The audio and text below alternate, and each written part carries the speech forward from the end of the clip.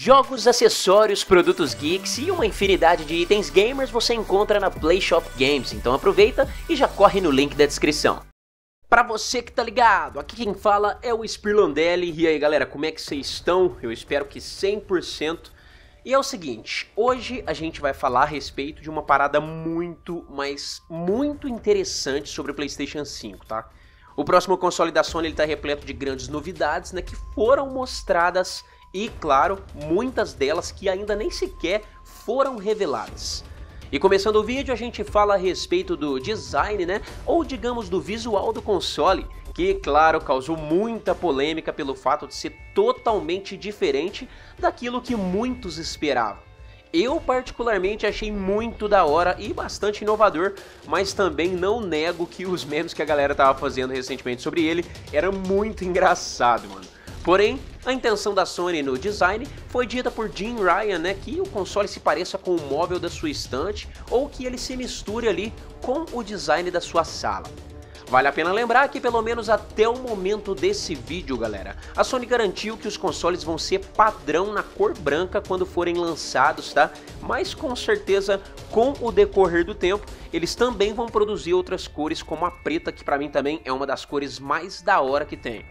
Enfim, jovens, se tratando sobre o material de marketing da Sony, a empresa parece ter vazado algumas coisas recentemente que dá a entender ali que vai existir o PlayStation 5 preto e vermelho também.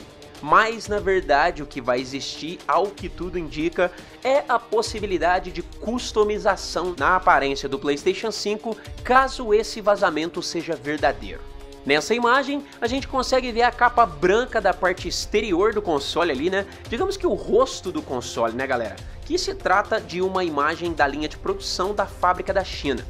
E julgando por essas fotos aqui, a gente vê que parece que o invólucro externo do PS5 é potencialmente removível e simplesmente apareceu em um local de uma bancada dessa fábrica. Se a gente for analisar bem, galera, isso seria bom de diversas maneiras, tá?